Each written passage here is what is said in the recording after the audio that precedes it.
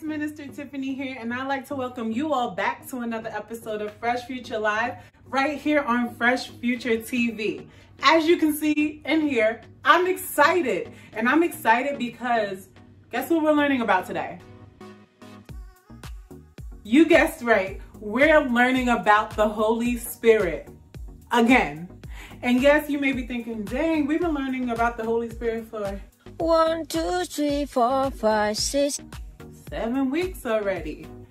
And guess what? We can never get enough of the Holy Spirit. So that's why we have a teacher who is equipped and ready to teach you more about the Holy Spirit. You may want to grab a teddy bear for this one because we're getting ready to start and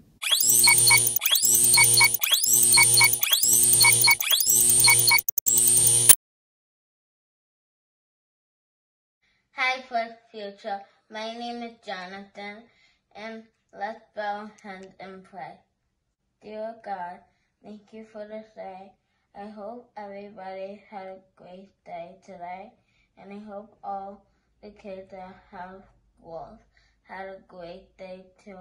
I hope all my cousins are okay, and I hope everybody in the world is alright, even homeless people, when there be storms and lizards. In Jesus' name, amen.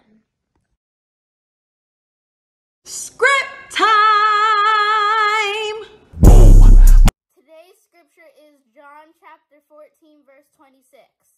But the Helper, the Holy Spirit, whom the Father will send in my name, he will teach you all things and bring to your remembrance all that I have said to you.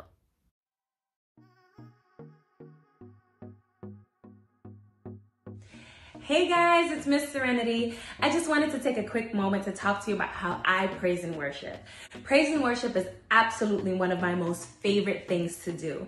It's the time where I get to be close to God, where I get to to sing to him and to dance for him and to worship him and just lift him up and love on him for being who he is and for being awesome and for everything that he's done for me. It's the time where I get to show my gratitude.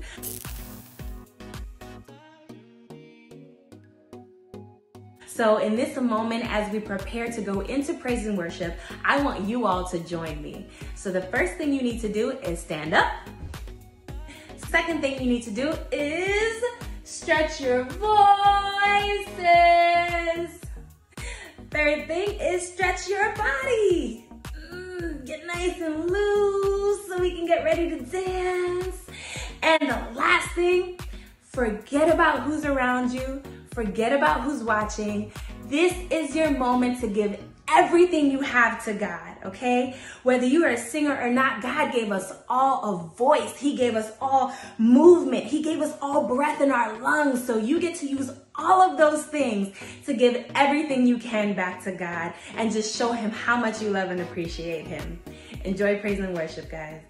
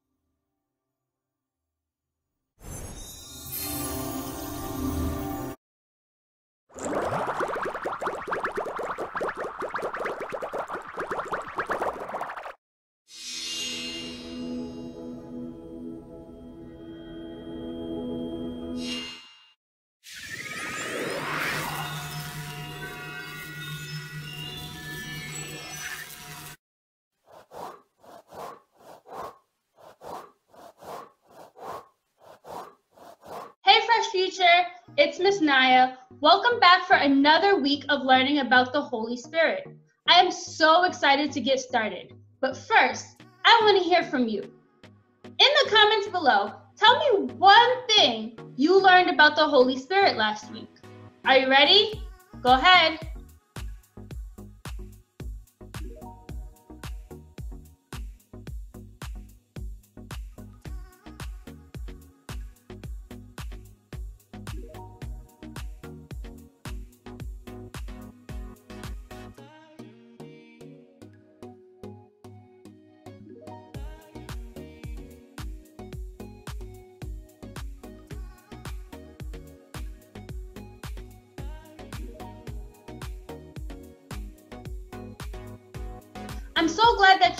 Got to learn about so many great things last week.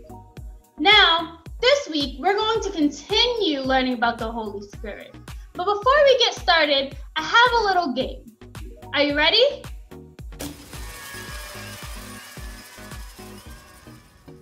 For this game, we're going to solve some riddles. I'm going to give you a riddle, and it is your job to guess what person or object I am describing in the riddle. Feel free to write your answers below in the comments. All right, let's get started. Riddle number one. I'm something in your bedroom you can find inside a case. I'm used by you every night as it's where you rest your face.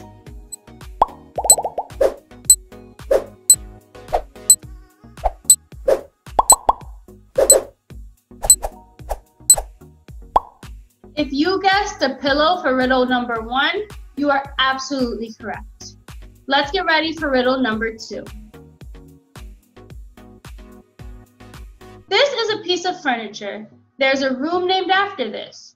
It's something that's used every night because it has a mattress.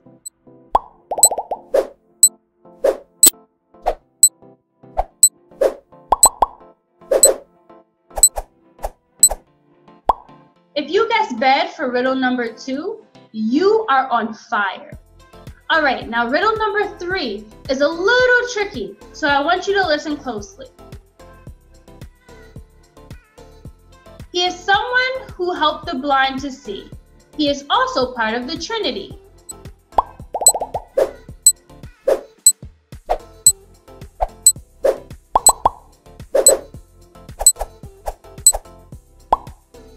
To riddle number three is Jesus. You guys are doing great. Okay, this is riddle number four and the last riddle.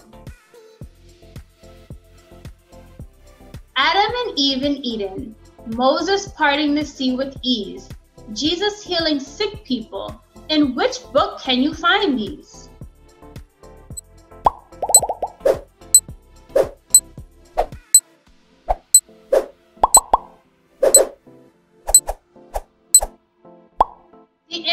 Riddle number four was the Bible.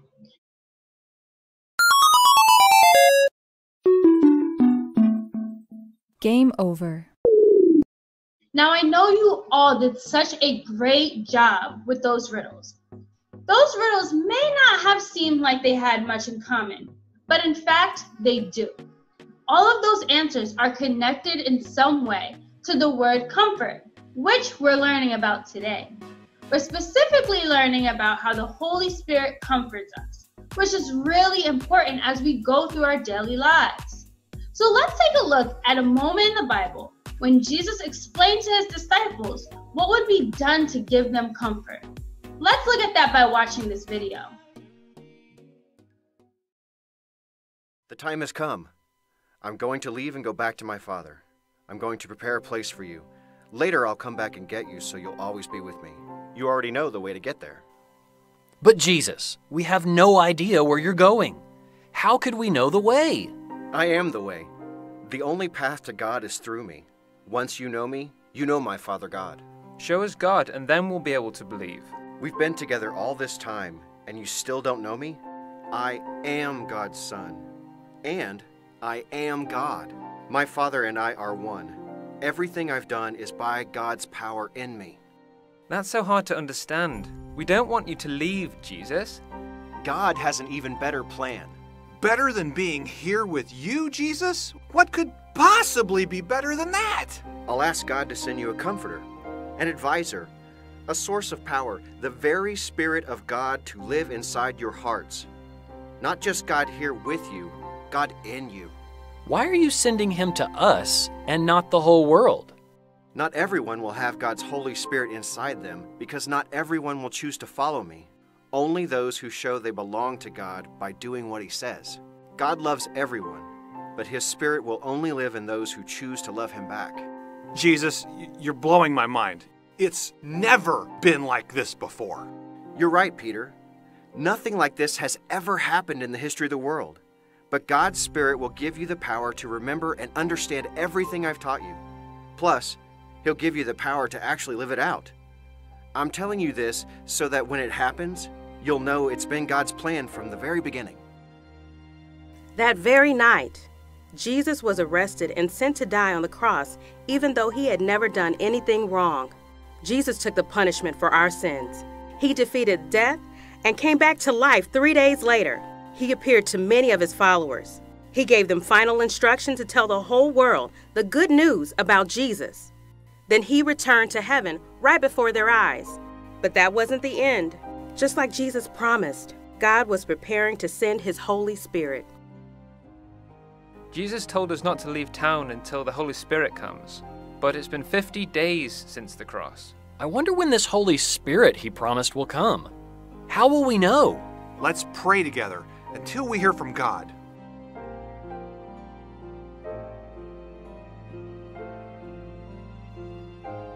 This must be it. I feel God's power inside me. We're all filled with God's Holy Spirit. There's a whole crowd outside. Let's go tell them the good news about Jesus. He's given us power to speak in different languages so everyone in the city can understand. The Holy Spirit is giving us the power to be able to do whatever God asks us to do. I feel so bold and courageous. I'm going to go preach to that whole crowd. And that was just the beginning of the mystery and power of the Holy Spirit living and working in Jesus' followers. His power is still living in you and me, yesterday, today, and forever.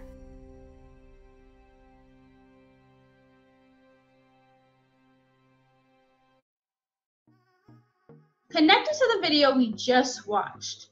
Today, we are going to focus on John 14, 25 through 28, which says, All this I have spoken while still with you, but the advocate, the Holy Spirit, whom the Father will send in my name, will teach you all things and will remind you of everything I have said to you. Peace I leave with you, my peace I give you. I do not give to you as the world gives. Do not let your hearts be troubled, and do not be afraid. You heard me say, I am going away, and I am coming back to you. If you love me, you would be glad that I am going to the Father, for the Father is greater than I.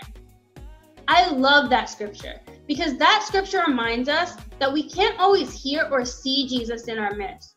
But Jesus has given us the Holy Spirit who helps and comforts us, and we can rejoice in that. So I want you to think have you ever spent time away from someone that you love or miss the people that you're separated from? Sometimes that can be challenging. So I now want you to think have you ever taken something with you to remind you of those loved ones or your home? Maybe you have a special blanket or a stuffed animal that comforts you and reminds you of the things and the people that you love. Sometimes having a little something with you helps because it makes you think of what has been left behind and it lets you rest assured that you'll be together again sometime. So, even though you might not see your family or home for a little while, items give you a little part of them and bring you peace. Did you know that Jesus did something similar for us? Before he died, he told his disciples that he was going to send them a special helper.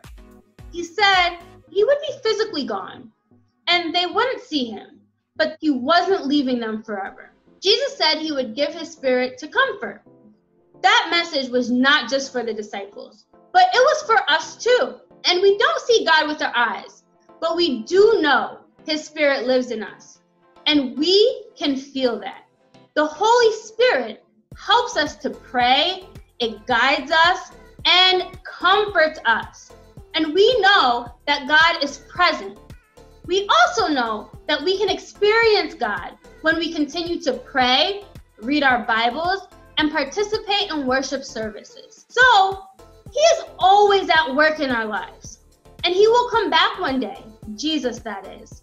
And for now, we'll take the comforting reminder that He'll never ever leave us. And the Holy Spirit is comforting us each and every day.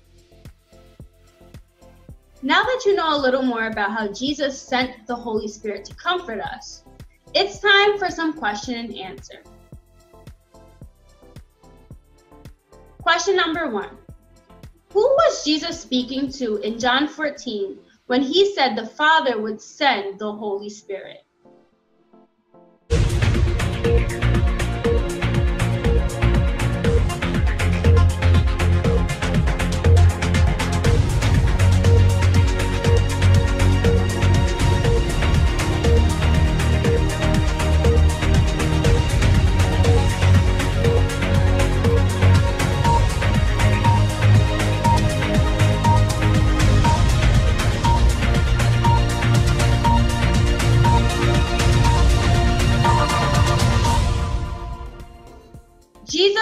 Was speaking to his disciples.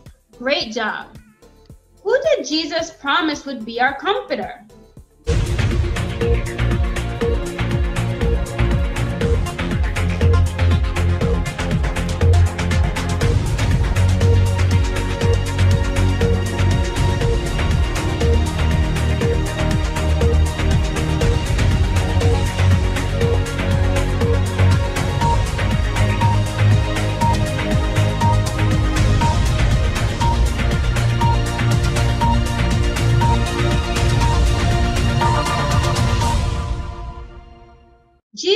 Promised the Holy Spirit would be our comforter. In the scriptures we just read, John 14, 25 through 28, what does Jesus say he will leave with us?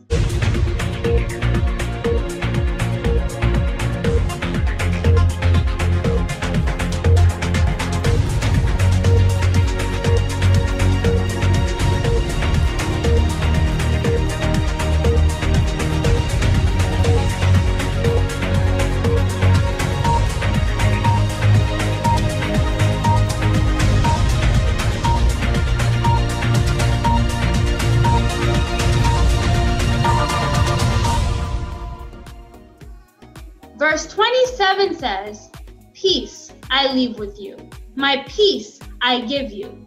I do not give to you as the world gives. Do not let your hearts be troubled, and do not be afraid. Now it's time to get another perspective, a fresh future perspective, that is. So I called on one of my good friends and I asked her a couple of questions. Let's see what she has to say.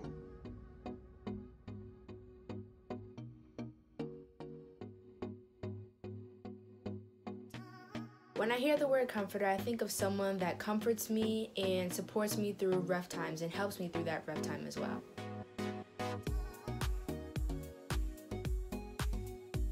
The Holy Spirit comforts us by um, giving us guidance and not leaving us to figure out things on our own.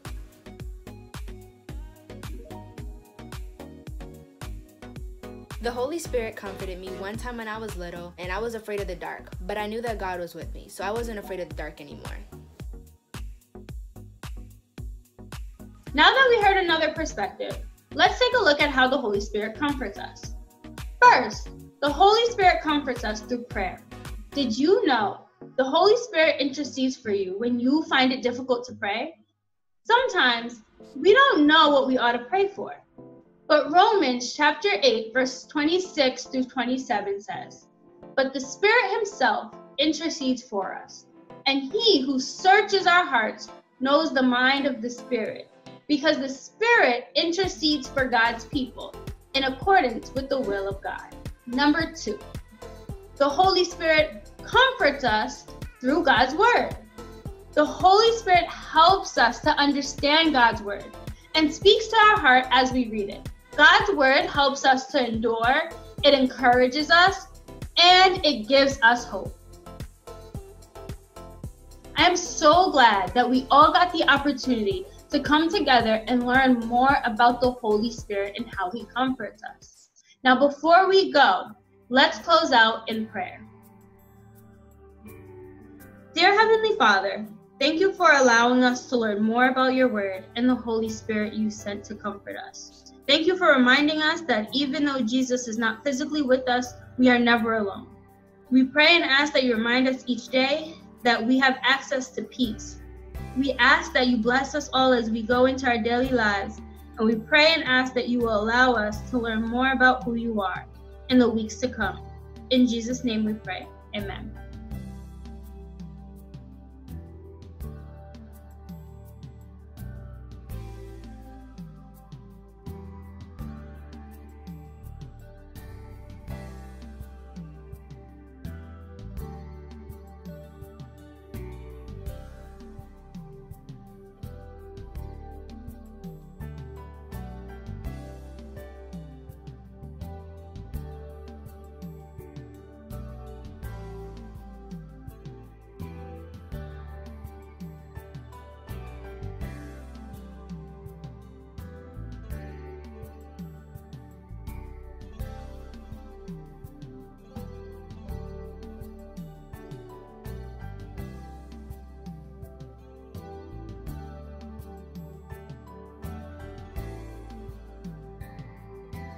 I am grateful for the power of the Holy Spirit that lives inside of us, not only to guide us or to teach us or even to empower us, but that it comforts us.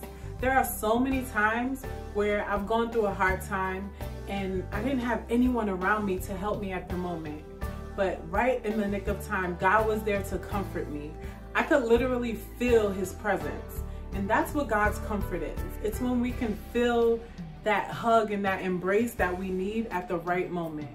And he may also send people to comfort us in our times of need. So in order to be used by the Holy Spirit, there's something that you must do, and that is accept Jesus Christ as your Lord and Savior. And in order to do that, all you have to do is believe in your heart that God raised Jesus from the dead and declare with your mouth that Jesus is Lord and you are saved. So if you want to make that decision today, we want to hear from you and we want to help you and disciple you through it. So email us at freshfuture at thefreshstartny.org and let us know in the chat. Now, let's hear from Mike.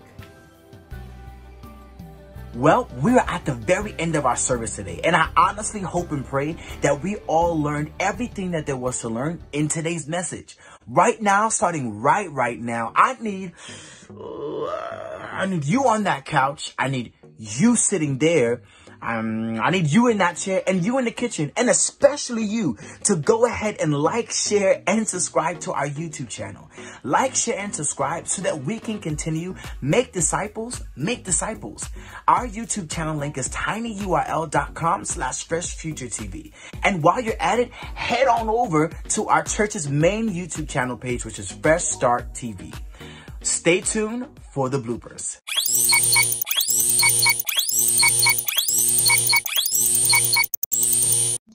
Hey, Fresh Future, it's Miss Naya.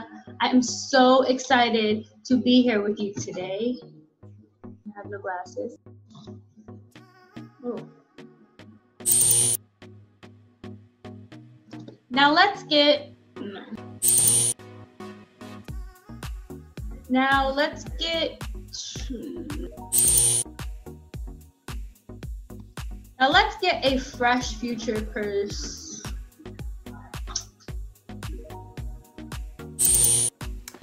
The Holy Spirit comforted me by, um, hold on, wait.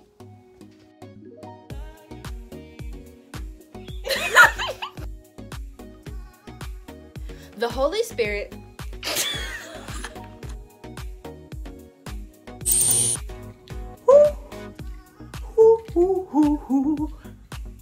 Come to my house? Cause I be bored, as you can see. Born and raised on the playground, that's where I spent most of my days. I don't wanna get sued copyright infringement. So we'll just see you next week, guys. Peace out.